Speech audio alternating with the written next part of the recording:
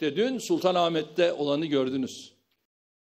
Bir kadının canlı bomba olarak oradaki Emniyet Müdürlüğü'nün turizm polis karakoluna yaptığı saldırıyla bir polisimiz şehit oldu.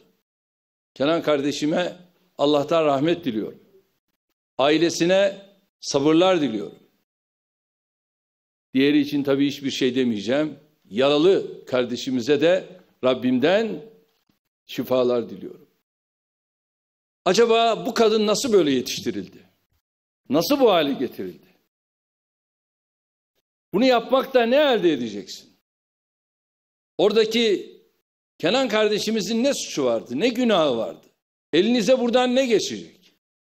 Yani bununla ideolojilerinizi bu ülkeye egemen kılacağınızı mı zannediyorsunuz? Az önce Milli Eğitim Bakanımızla şöyle ufak bir aramızda mütalaa diyebiliriz, müzakere diyebiliriz.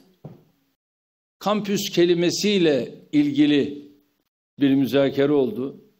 Acaba bu isim böyle mi olsa yoksa bu ismi mahalle mi koysak? Sonra benim aklıma tarihimize gitmek, dönmek geldi. Dedim ki herhalde buna külliye daha güzel olur diye düşündüm. Esenboğa kampüsü yerine Esenboğa külliyesi temel atma töreni çok daha isabetli olur diye düşündüm.